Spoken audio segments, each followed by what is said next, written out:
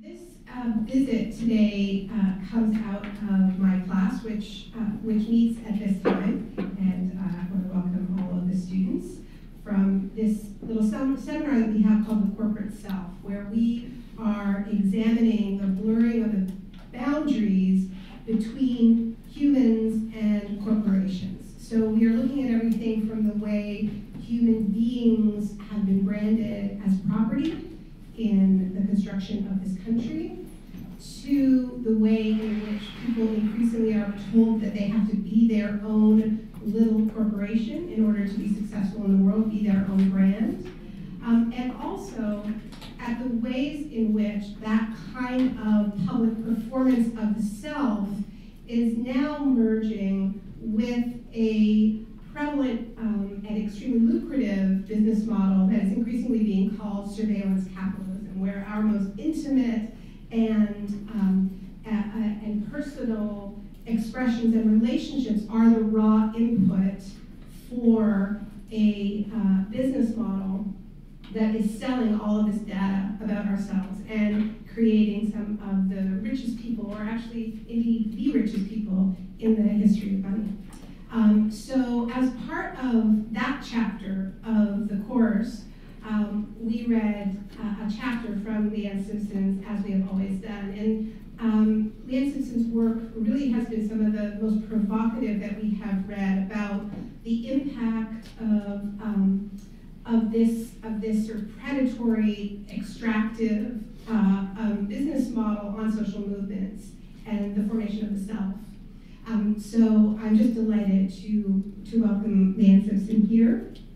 Um, Leanne is Anishinaabe and a member of the Alderville First Nation in what is now called Ontario, Canada. She is one of these people who is just um, maddeningly multi-talented, I have to tell you, um, because in addition to being this extraordinary public scholar, and that's the capacity in which you are going to hear from Leanne today, you won't be able to miss the fact that she is also an amazingly beautiful writer. She is a poet, a spoken word artist, and on top of that, an amazing musician and performer. Um, so those of you who haven't uh, researched uh, her body of work, please do.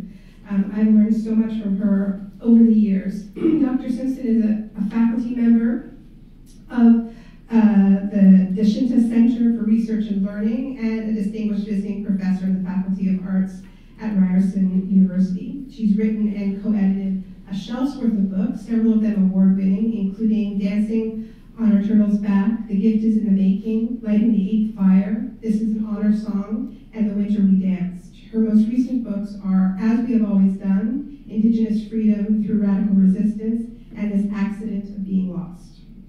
On the jacket of one of those books, there's a quote from me saying, I have learned more from this battered world from reading Leanne Simpson than from almost any writer alive today. And that is absolutely true. She's currently on her way to a conference at Princeton on settler colonialism and was kind enough to agree to stop by to visit um, Rutgers today. Um, we got this larger room because we knew that there would be broader interest in hearing from her. Leanne's going to present for about 20 minutes, um, and then I'm going to have the pleasure of being in conversation with her. And then at the end, before we wrap up, we'll open it up to questions from all of you. So please join me in welcoming Leanne Simpson.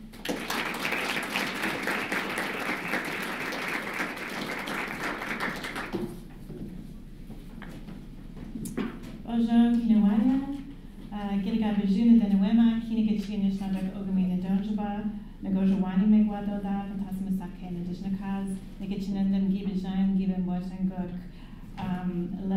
Aki, Wanishi. Hi, friends. Um, thank you so much for that wonderful introduction. Me cry, I wish I'd been here for the whole semester. that sounds like a fantastic course. Um, thank you for all of your support uh, and mentorship of my work, and thank you for being such a fantastic uh, co-resistor with Indigenous peoples.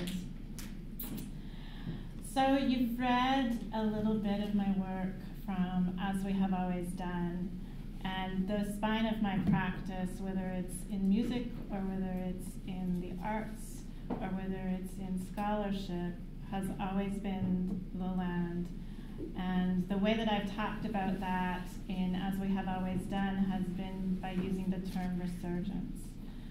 So I was thinking in preparation for this what resurgence means to me on a daily basis.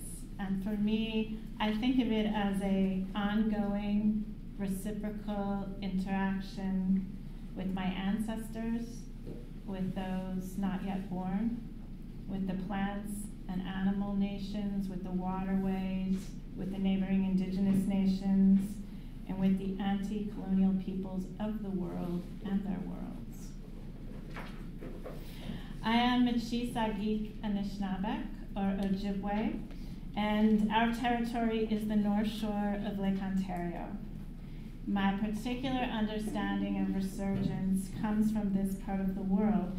It comes from a Michi Saagiig Anishinaabeg practice of life, living in deep relationality with the land, the waters, the plants, the animals, and the peoples of Kinagichi Anishinaabeg Ogaming, the place where we all live and work together.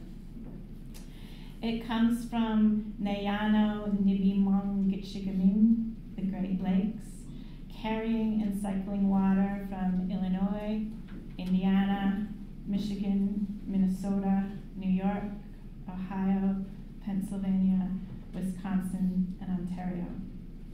It comes from the maple sugar bushes carrying and filtering water from the soil, combining it with light and converting it into sweet sugar. It comes from lake shores full of manoomin or wild rice, gathering strength in mid July and moving from floating to standing.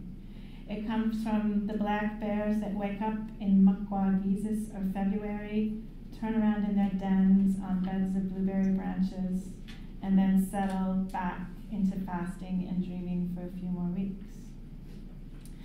This land, this particular land, has taught me that resurgence is a continual, reflective, reciprocal, and often critical interaction with my ancestors.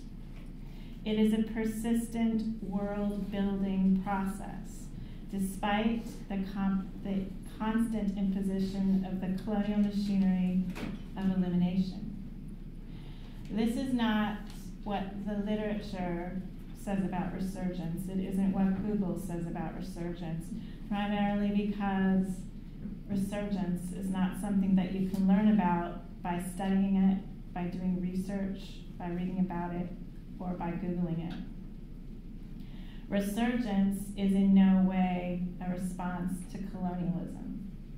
It is a procedure for Indigenous life and Indigenous living that Indigenous people used long before our existence depended upon our ability to resist and survive the violence of capitalism, heteropatriarchy, and expansive dispossession. My ancestors woke up each morning and they built Anishinaabe life. They built their collective philosophical and ethical understandings they made processes for solving conflict and reestablishing balance. They built their economy with the consent of plant and animal nations they shared land with.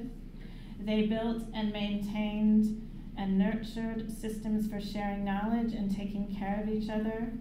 And they worked collectively to replicate, reproduce, amplify, and share Anishinaabe life because if they did not, it wouldn't exist.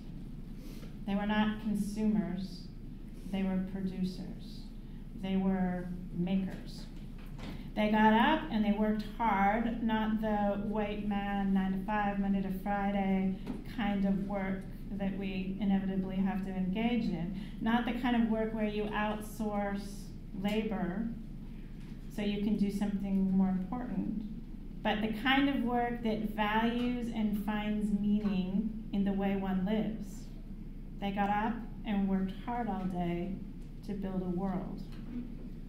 This algorithm of living, theory, praxis, seemingly intertwined and relationally responsive to each other, is generated through relations with Michi Saagiig Anishinaabe land land that is constructed and defined by our intimate spiritual, emotional, and physical relationship to it.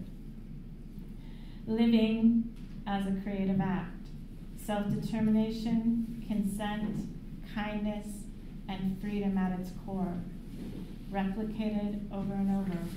Making as the material basis for experiencing and influencing the world, living with the purpose of generating continual life.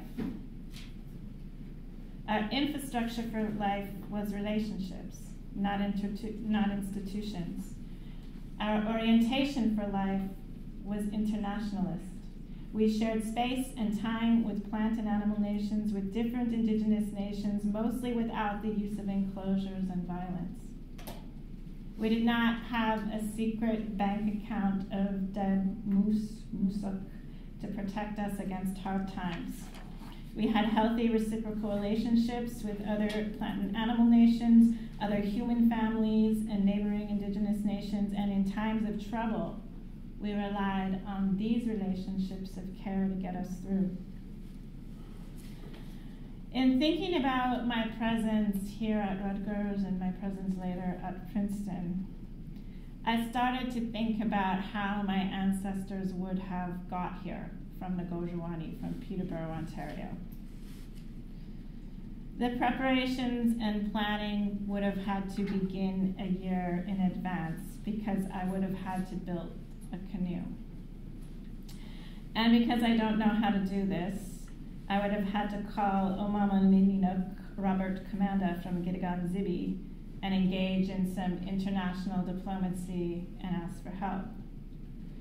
I would have to harvest the birch bark in Nokomet. That's that first part of spring when the, uh, the tree frogs start to sing and when the broad leaves are born.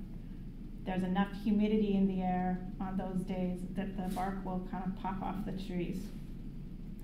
I would need to harvest the materials of four other trees in addition to wigwas. I would need Zis, Zisaganda wabek, spruce roots, Gijgatik, cedar, Mananons, ironwood, and Bapa Gamik, ash. I would need to obtain consent from each of these beings to harvest them, and so I would need sema, or tobacco, from four different plants that I had harvested and dried last summer. Some of these materials are no longer easy to find in my territory. I would think about why. I would name it. I would understand it, and then I would engage in more international diplomacy with the Dene and ask them for spruce gum. Maybe I'd trade them some maple syrup or manoomin. I would then need 10 days to build the canoe, which would mean boring an elder's front yard on the reserve and bringing in more like minded Anishinaabe to help me. Eventually, I would discover that I needed paddles so I'd have to start this process over again, finding somebody with that knowledge, harvesting the materials, and building the paddles. I would then need goodness knows how long to learn how to drive that thing. Next, I would ask the elder whose lawn I'm borrowing to build the canoe how to get there. He would tell me a sin sagi gun, asin sagigan, atikmik sagigan, gichigaming odanabe, Himadash Koreyan, Sakateachuan, Chinabish. He would tell me where I need to put the offerings.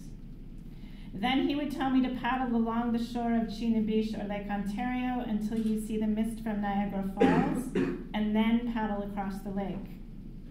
He would add, I don't know if you can still see the mist through the smog of Toronto. And I'm not sure if climate change has screwed up the currents and the routes, and nobody crosses the lake in the birch bark canoe anymore, so good luck.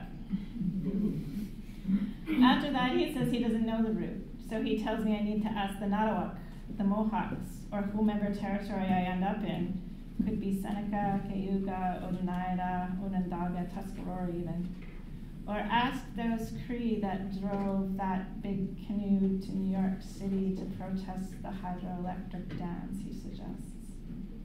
More international diplomacy, more ceremony. Then I do my own research and I would check in with the Hawaiians because they have built a boat, a seafaring vessel called the Hokulea, and they have um, retraced a lot of their, uh, their ancient travel routes in the ocean. And the first thing those Hawaiians would tell me is, you don't get anywhere with your canoe tied to the dock. Then I would do more research because I am an academic, and I would ask those those Jaganash, those white canoeists, since white people have wrecked the travel routes anyway, they might know how to get um, through the locks and through the uh, waterways that changed. I asked my mom about food. She tells me in very confident terms that I need to take one bushel of apples and an ultraviolet pen so I can drink the water. She was going to make this into a, a fitness expedition as well. Her answers remind me of Nanabush, who made a similar journey in a canoe at the beginning of time. I remember I am merely reenacting something that they did and something that generations of my ancestors have done before me, and I'm gifting those yet to be born with my own likely hilarious reenactment of this. I remember that Nanabush's ordeal journey was a struggle. It was not easy. There was lots and lots of failures. He relied upon countless beings for help, and he almost didn't make it. They almost didn't make it but also that this was their methodology for learning about their ethical responsibilities about how to live in the world Jouet Manado had placed them in. Let's say there is some sort of Anishinaabe miracle and I find myself on the Hudson's River and I make it here. In my ongoing conversation with my ancestors, and I'm going to call her Mindamoya, which is our word for old woman and it, it means really the one who holds it all together. She wants to know why. Why am I going to Rutgers? Why am I going to Princeton? Why was putting all this effort, likely for two years, with nine different indigenous nations, countless different plant and animal nations, not to mention the 730 days of irritating conversations with her. Mindamoya says, what do you have to say, Leanne, that is so important that you spent two years of effort and nine in different nine different indigenous nations, countless different plant and animal nations, not to mention the 370, 730 days of conversations. I think. Well, I want to visit with the Lenape. Mindamoya says, which ones? I think the academic one. Mindamoya says, Well, where is she? Well, she isn't here. Well, why not? Mindamoya says.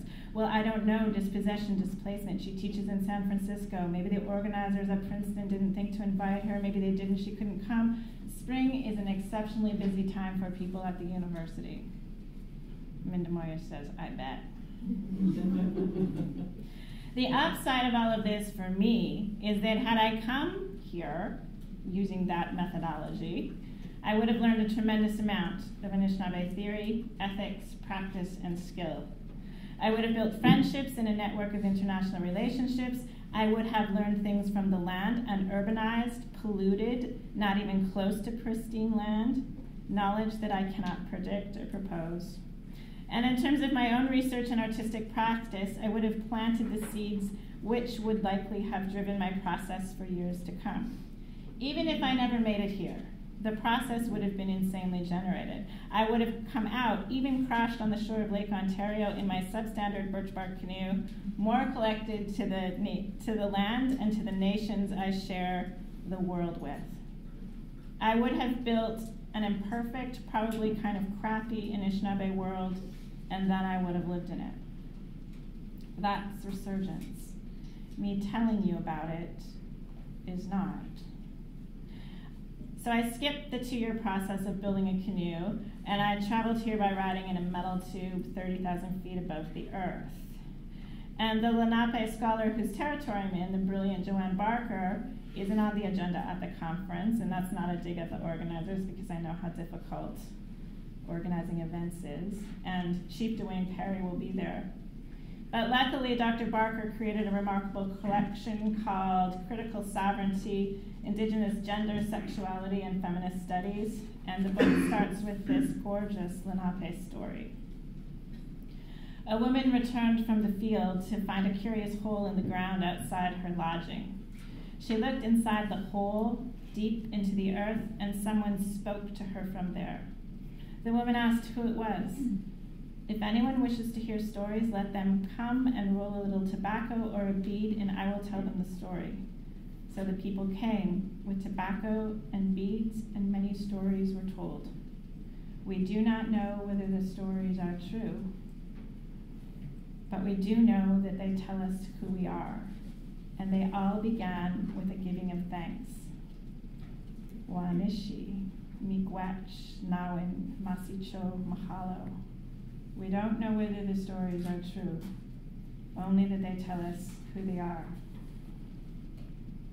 Mindamoya says, That's great, Leanne. You quoted something Dr. Barker might have said if she were here now. And now, Dr. Rickshaw, what are you going to share back? Well, I don't know what's appropriate. Mindamoya says, Tell a story, maybe something from March or April. Leanne says, I've already told that one maybe too many times. Actually, they'll think I'm a one trick pony. Minda Mindamoya says, Do they get the story yet? Do you? Leanne says, History would tell us that I probably do not. Minda Mindamoya says, Then tell it again and do a better job this time. I first learned this story from Doug Williams from Curve Lake about 20 years ago. In my retelling today, the main character's name is Biidaaban.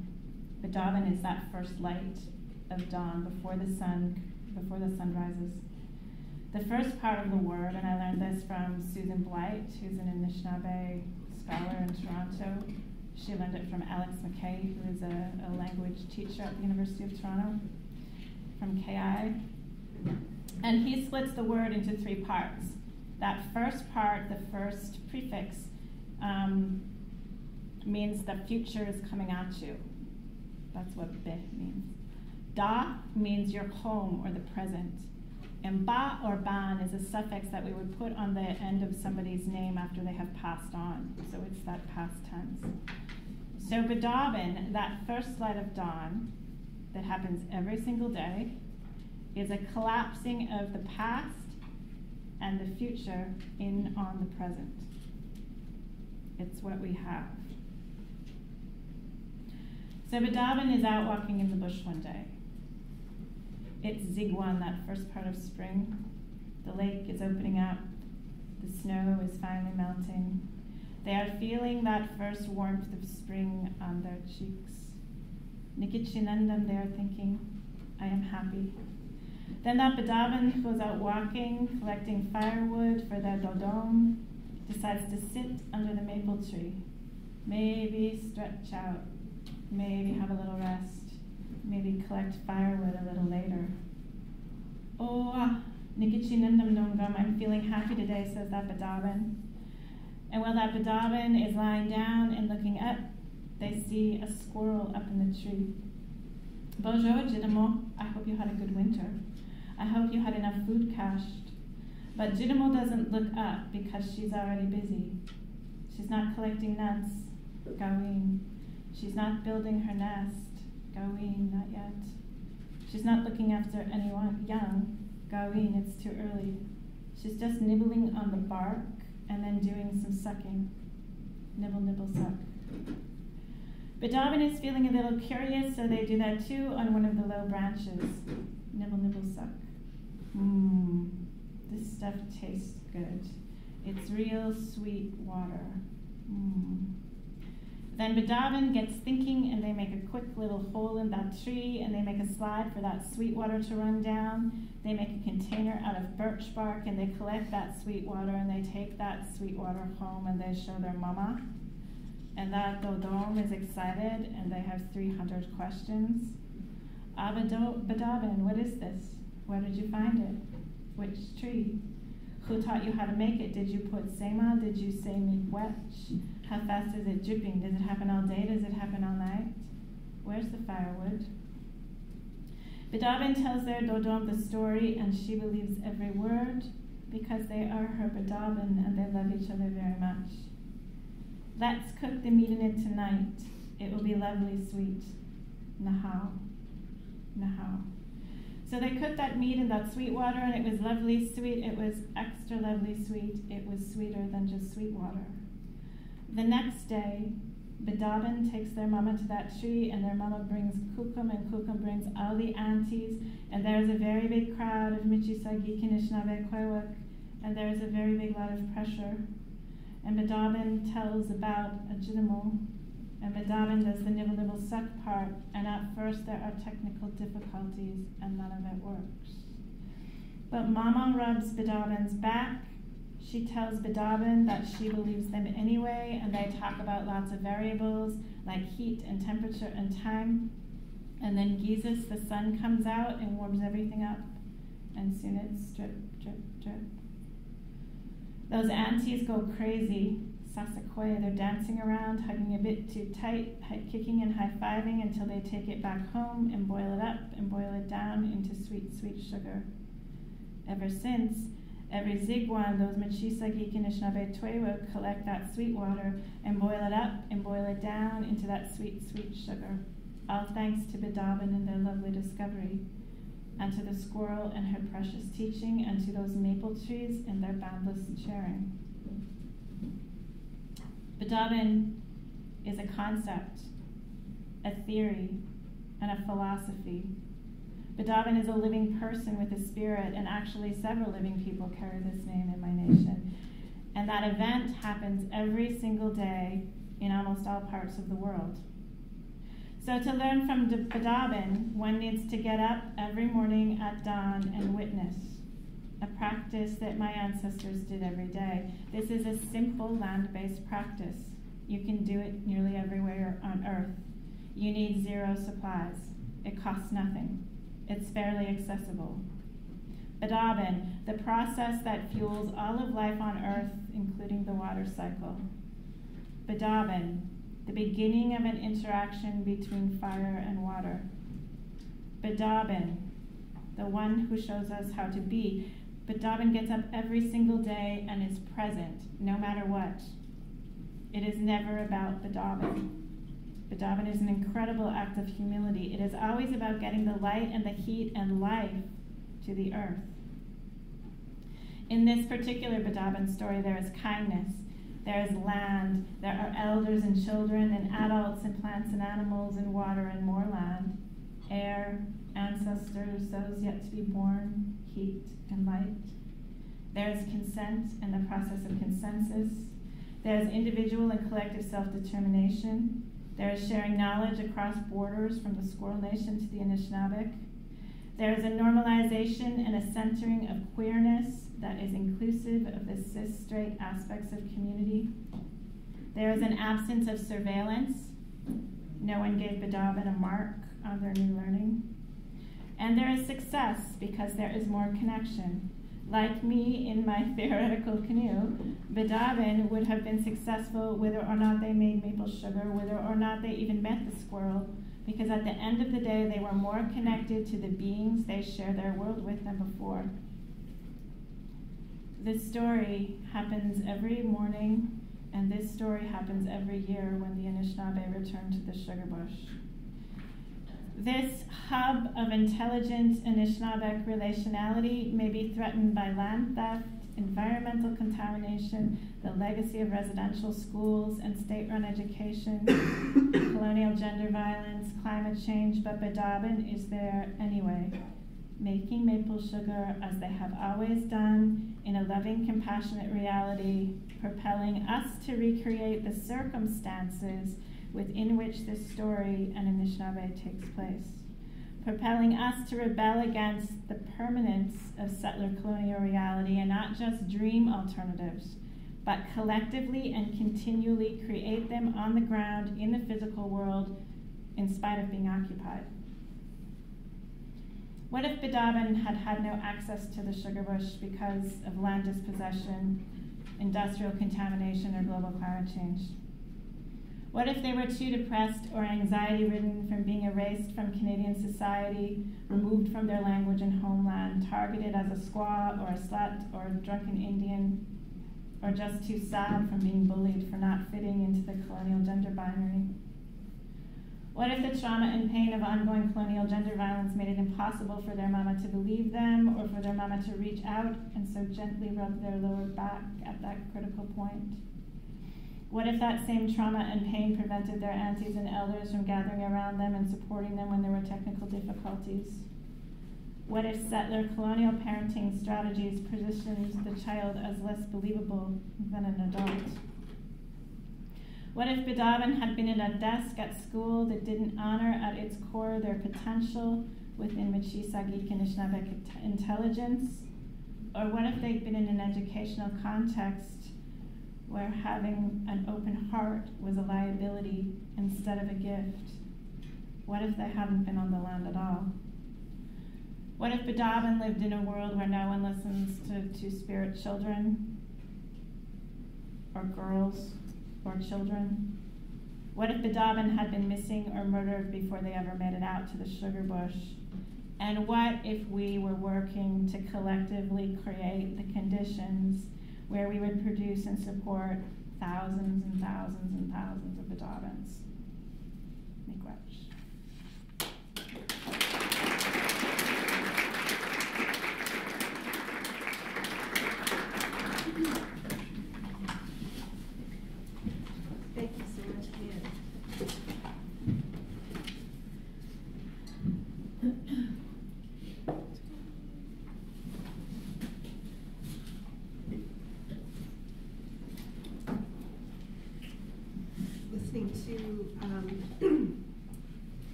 to what you said, Leanne, about um, about the the lack of Indigenous scholars um, represented from from this region. Um, it's it reminded me just I have to do this little plug, which is that you know we're really lucky here at Rutgers to be represented by a union that is um, one of the only unions in the world that is putting diversity on the bargaining table, including gender racial diversity of faculty, which is scandalously poor at Rutgers. And there was a really important victory just yesterday, I think an announcement of from $20 million as a result of a threat to strike. Um, so just a reminder that collective organizing gets results and the job's done. Um, but how amazing would it be to be learning from faculty who know the true history of this place? you know, it strikes me it's so important in these really transient, particularly really transient um, university communities, right? Um, where the the lines of connection to the land are just severed and severed and severed again. And when you don't have people who are whose whose deep knowledge um, about the land is is represented at, at, the public universities, it's really such a theft, I think. Um, so we are the School of Communications, uh, and there are a lot of media studies students here. Uh, and Leanne, when you and I first met, it was a really high point for a movement um, that some people here may know about, some people may not, um, called Idle No More. Um, and it was part of this indigenous resurgence that you spoke about. Um, and it was um, it, it, was a movement that was powered by people but supercharged by technology, um, like all of our movements are these days, right? One of the readings in our course talks about how you know whether it's Idle No More or Black Lives Matter or the Arab Spring, are these moments in movements now where suddenly you feel like you're on a magic carpet ride. Things are moving so quickly, right? Even the core organizers, and Leanne was, you know, really at the center of Idle No More, don't quite understand what is happening. It's all moving so quickly. But then there is this flip side. There are actually there are a few there are a few flip sides. One of one of them has to do with the fact that the the organizing the, the, the size of the movement outpaces the organizing structure and the relationships. Um, another side of it is that it also superpowers, seems to superpower its opposition.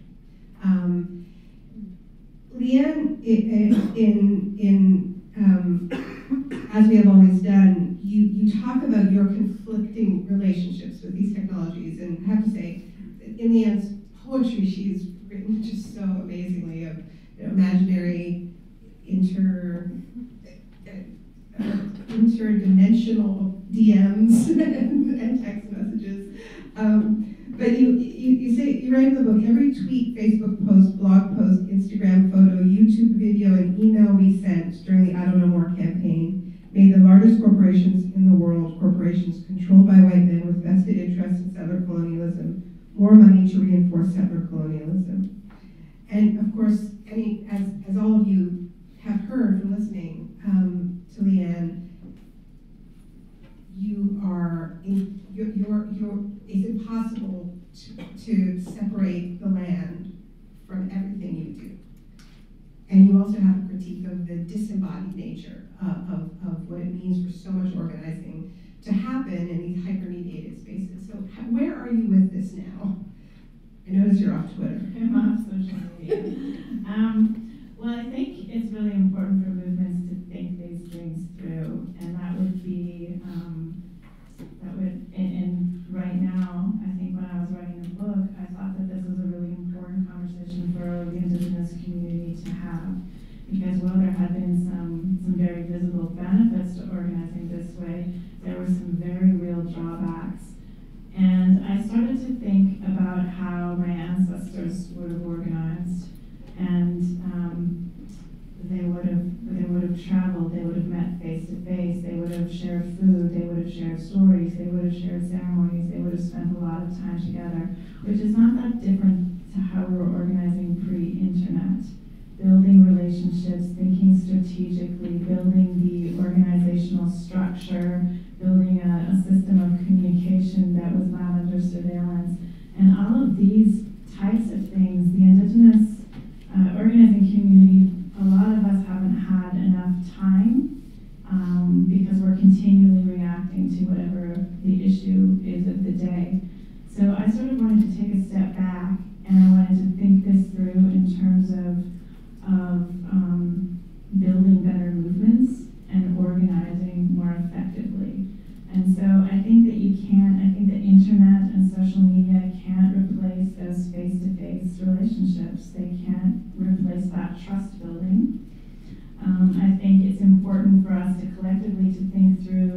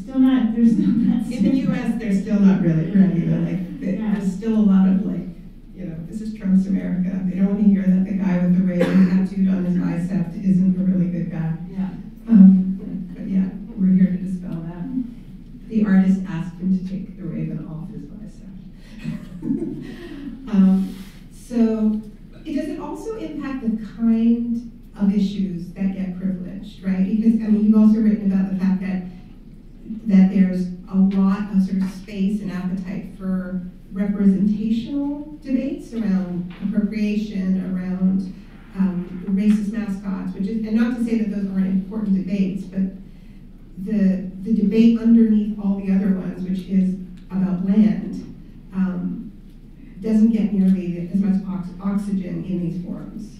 Exactly. So debates around representation. There's been a, a conflict over the last week on social media, and now the real media between Inuit uh, throat singers and a, a Cree singer who has appropriated the, the throat singing. That has got the kind of media traction that one would dream of when you're organizing. So the media loves conflicts between Indigenous people. It loves victim stories. Um, it loves residential school survivors and, and sort of bringing out that kind of uh, trauma porn. Um, identity issues. Um, as an old person, you'll remember in the 90s we already we've already dealt with that, but that's take that takes up a lot of space in our in, in indigenous organizing or the issues that are are are um, front and center. Meanwhile, the the earth is literally melting. So the, the story this week in Canada was that Canada is warming at twice the, the global rate, and that story was eclipsed so quickly by uh, these, these other kinds of issues. So let, us talk a little bit about about climate, um, and it you know the, the, the story that you ended on that incredibly beautiful story. It, I, I can't you know help thinking about the way that climate disruption is disrupting maple syrup production in your territory. Um, and I think that when you have you know settler cultures that are not mean look, we're all land based, right? Like whether we know it or not. we are all dependent on natural systems. Um, we there are people who are in denial about that um, because it seems like everything's fine when you turn on the tap or, or when you go to the grocery store. Um, but when there is a disruption, as people remember with Superstorm Sandy, or you know, massive electricity outage, um, you know, that knocks out an entire, you know, the eastern seaboard, you, you realize pretty quickly that we're all pretty dependent on land. Um, but, but the, you know, what, what does it mean to, um, you know, to be in a struggle to to have land rights respected when the land itself is changing so fundamentally that all of these practices that are so central to culture and identity are are, are, are changing in ways that can make can make the land unrecognizable. And one of the things that I really learned from, from you, Leanne, is this, is this, you know, I think sometimes when we think about nature, we have a picture in our minds of, of this sort of pristine nature, of, of wilderness somewhere else, right? And so, you know, a state like New Jersey, which has a huge amount of industrialization and, and the water is really polluted, it's easy to think that like nature is somewhere else, right? Um, and and I think you, you really pushed me to sort of um, to, to get away from this mindset that you have to go somewhere else to experience nature. And that and you said you said to me a long time ago, you know, if your if your mother is sick, doesn't mean you stop visiting her, it means you visit her even more. Um, so can you talk a little bit about what what what how climate change impacts the the, the land rights struggle? My 13 year old daughter, Minawebe Beneshi, asked me that exact question last week when she was saying, like, why are you why are you doing the work that you're doing when we're in so much trouble in terms of climate change? Shouldn't you be just mobilized on that? And uh, it took me aback because I think that um, there's truth in what she was saying.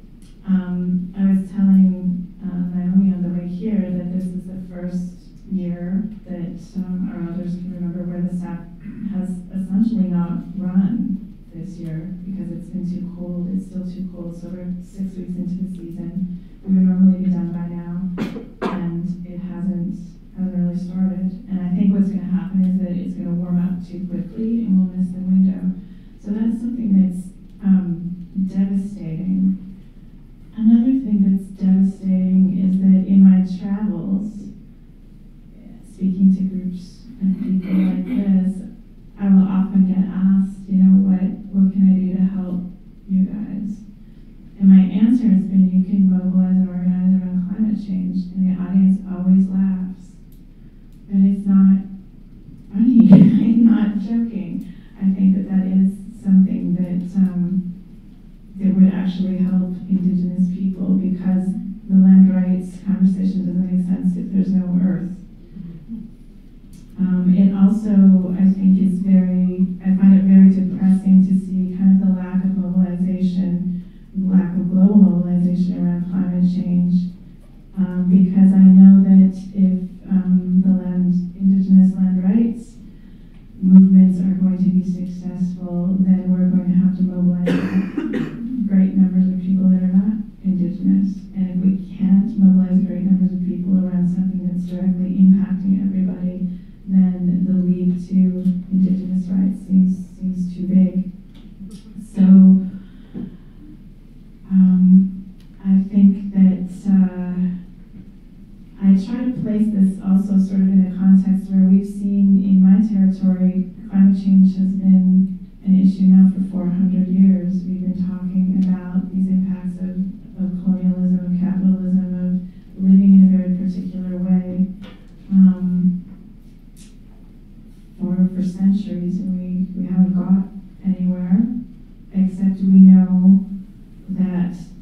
to survive is to be present and to be naming it and to be organizing and continuing to build the alternative.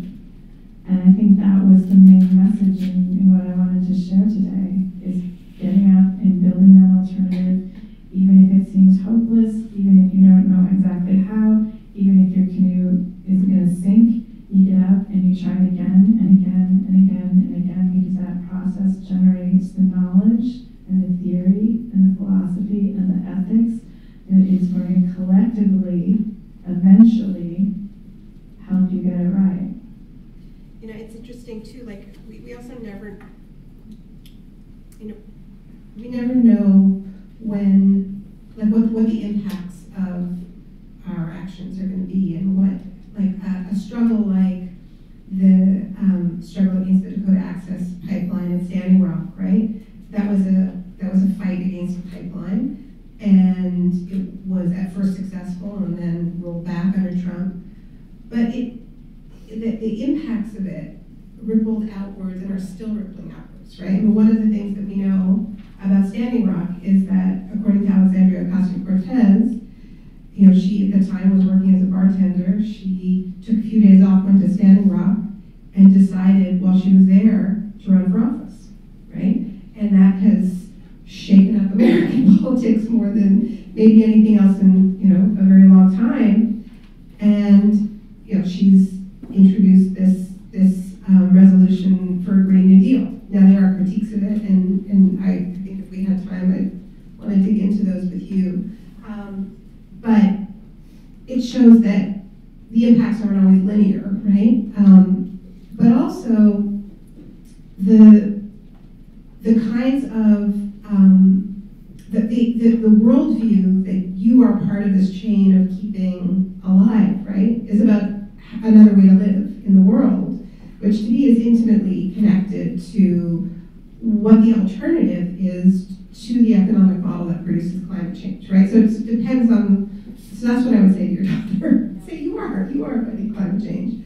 Um, you know, just simply by um, by being part of this process of, of keeping that world alive. And I remember being at a conference organized by the late Arthur Manuel about indigenous knowledge and climate change, where all the elders in the room were sort of in a desperate state about how do we get non-indigenous people to understand what we know while there's still time, right?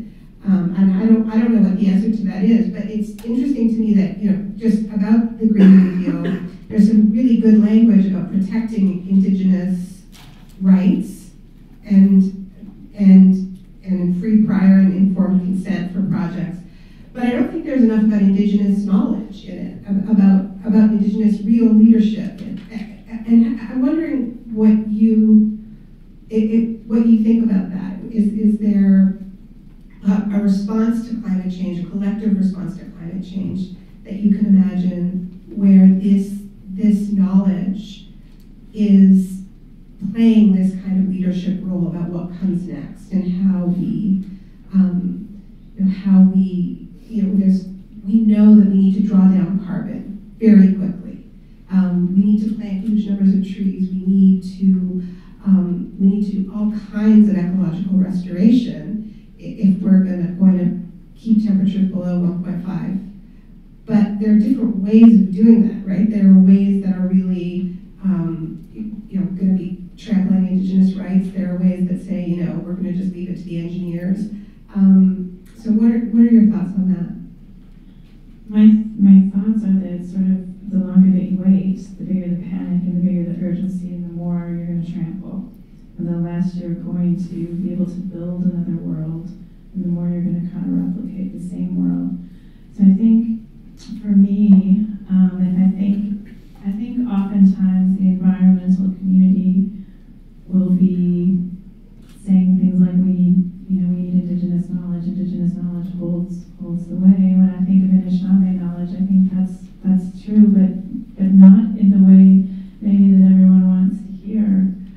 I think an Anishinaabe ethic about living is you, in terms of sustainable development, you don't develop as much as you possibly can while um, respecting this, the sustainability or the carrying capacity of a particular environment. It's the opposite.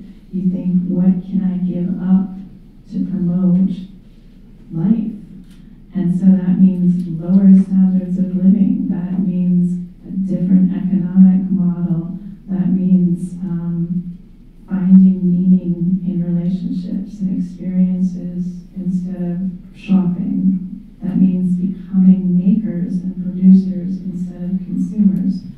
So that's not an easy, that's not a big secret message. It sounds simplistic, and then when you start to think about it, it's incredibly complex. And when you try to collectivize that, it's incredibly complex. But that's those are the sorts of conversations that I think that indigenous knowledge can propel us to have. But it's it's not we don't have quick fixes. And the longer that you wait, the less applicable I think our knowledge is going to be. Because as Naomi said, you know, I heard Art Manuel saying similar things 20, 20 years ago. You know, the Inuit elders have been warning us about this since the late 1970s. And in essence, all of our elders have been warning about capitalism and this, this way of, of living that's based on extraction and exploitation um, for, for hundreds and hundreds of years. And so we, as we continue to ignore that, I think we're, we're losing um, the richness and the intelligence and the generative capacity of indigenous knowledge to, to build these other worlds. I also think um, what you you were talking about about relationships really being the currency um, in Anishinaabe tradition, not stockpiling, not hoarding, right? That during difficult times, it's the richness and the depth of your relationships that carry you through. And it strikes me so much, you know, we have these debates about the Green New Deal and, and everything. It just it's just maddening. I mean, people say like, what is healthcare doing in there? What does that have to do with climate change? And it's like, look, things are going to get really, really tough. So it really begs this question of, are you going to take care of each other? Are we going to be decent to each other? Um, because if not, then it looks really, really scary, right? It looks like Katrina. It looks like Puerto Rico, and where you see exactly what Leanne was talking about, that the, that the communities where relationships were strongest are the ones that's, that, that, that survived, that were able to come together, cook food, um, you know, that were, that were able to, to, to problem solve when FEMA didn't show up, right?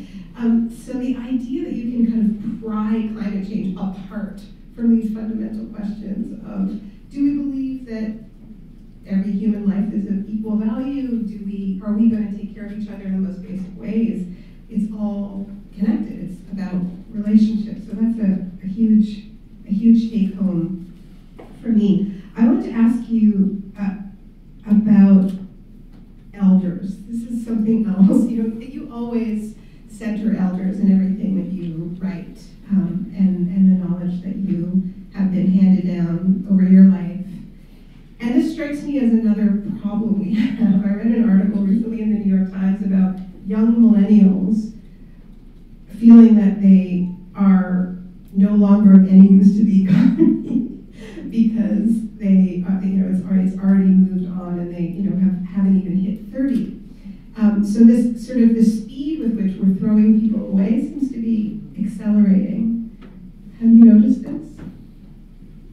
Yeah, I think I read the, the same article and also thought, um, come millennials, come. come and we'll build a different economy uh, where you don't feel like you've been, been thrown away.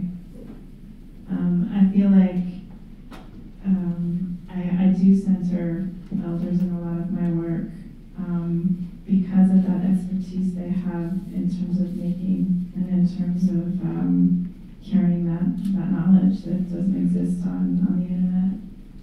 Yeah. So my last question before we open it up, so get your questions ready, everyone. Um, it has to do with this, you know, the, I think in Western European Christian, Judeo-Christian narratives, there's this apocalypse is always off in the distance, right?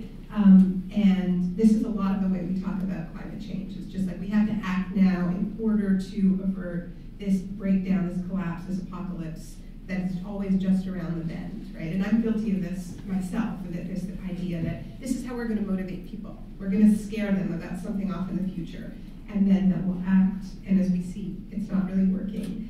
And in your writing, you talk about an apocalypse that's already happened, or and, and is still underway, a collapse that's underway. So if if we understand that the collapse ha has happened, that there are many apocalypses, um, and and we are in the in the wake of them, as Christina Sharpe talks about. Um, how does that change? How would that change us if that story was different?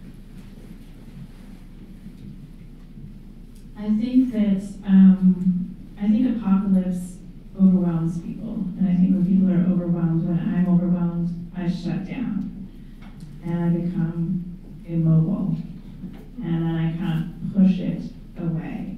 And so, for I think for Indigenous people, we have lived through in my territory lots of different apocalypses, um, and we have the skills to survive those and to navigate through those.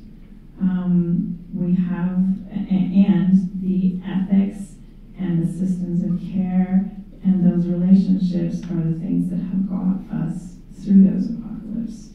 So I think, um, and I don't know, this is a very good question. I think it's something that we collectively need to be talking about is how to motivate people. When I think of how to motivate myself, I'm not often motivated through fear or through being overwhelmed or being critiqued. I'm often overwhelmed by inspiration, by enthusiasm, and being shown sort of the alternative rather than told. And so my idea of, of collecting and building these alternative systems, when I think of what inspires me, when I think of Melina, when I think of um, these groups of people that are that are getting together and are and are coming up with, with local solutions to particular problems um, as a result of climate change. I think that that's that makes me feel like I want to be part of something, and I think there might be something in that. Thank you. All right, so we have a mic here. Um, we have just mentioning a mutual friend of ours name Laboucan-Massimo, who has been part of this amazing initiative bringing um, renewable energy to indigenous communities, including in the heart of the Alberta Tar Sands, projects that are owned and controlled by indigenous people.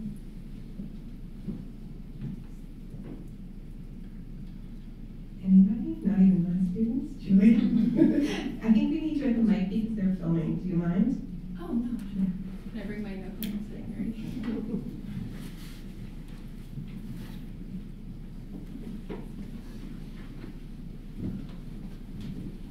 Thank you for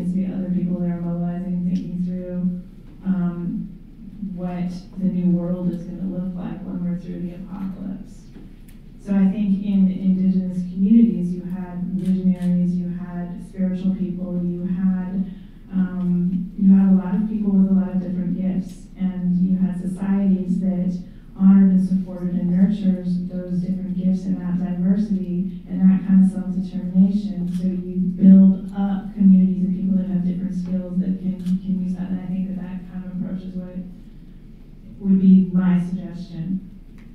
Can I just have a follow-up? Uh, do you have a utopic vision of what that world would be?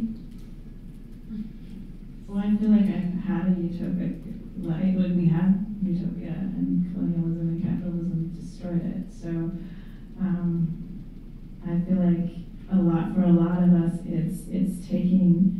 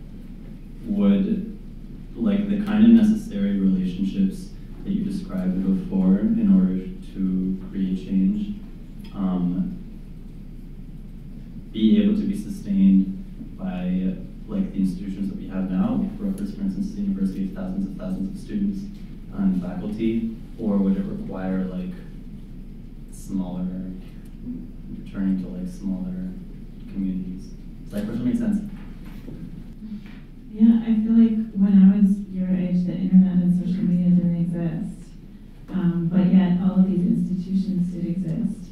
And so I would say that my political awakening was in 1990s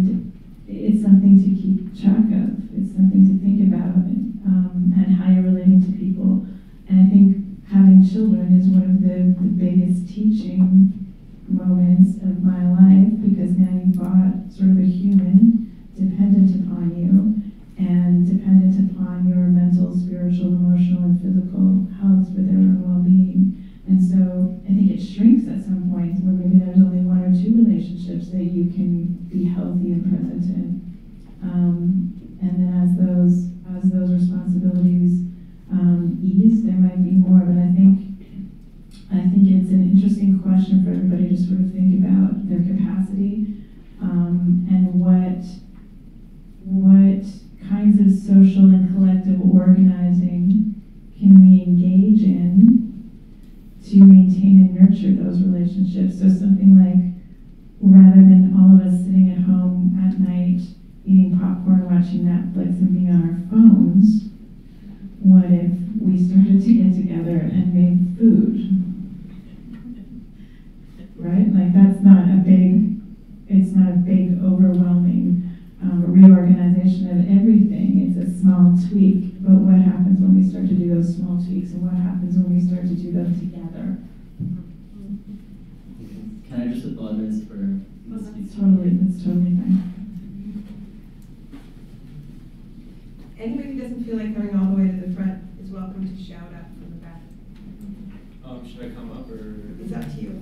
Um, okay, um, in your opinion, what is the best or a realistic way to allocate resources um, fairly to a world that is growing so fast in population and has needs? And that's kind of a tough question, but. Again, I would take that, I would, I would think that through from an Anishinaabe perspective um, in the context of my own life. What is the best way that I can redistribute the resources, the privileges, the opportunities, um, and the struggles within my immediate family, within my immediate community, and with the people that I'm accountable to. And I think collectively, if everyone does that, then at some point, as you take those values and ethics and you scale them, you move them across scales, then collectively we will develop the systems of reorganization to um, to support that and to amplify it across scales. That's what that's how Anishinaabe society worked before. You your relationship um, to the land and to to Joy Manado was sort of your first responsibility, then to your family, then to your clan, then to your community, then to your to your nation. And those ethics and values and practices in your own life are the same things. They're, they're tweaked a little bit when you're moving them across scales because there's logistic issues, but those systems then are generated by the embodiment of those, those ethics and values. Complicated answer to complicated question. I have a question sort of related to that. Um, thinking about, so when you said you tell people to go organize um, in their communities with, to like produce the change that we need to do. Um, what happens though when, as individuals, we're still sort of thinking through a colonized and capitalist mindset? how can we actually organize and produce an alternative change when we ourselves aren't um, economists, basically? Well, on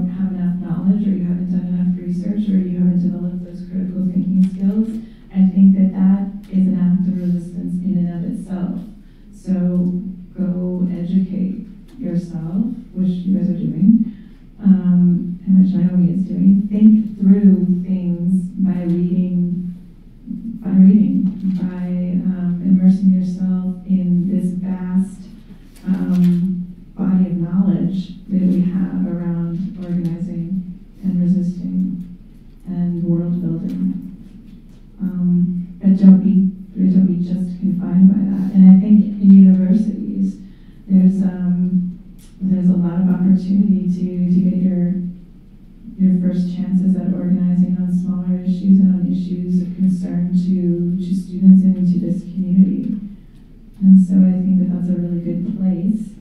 There's also people that have been doing this, your elders. There's people that have been organizing for countless generations now. There's a big body of knowledge on how to resist this that you're a part of and that I'm a part of.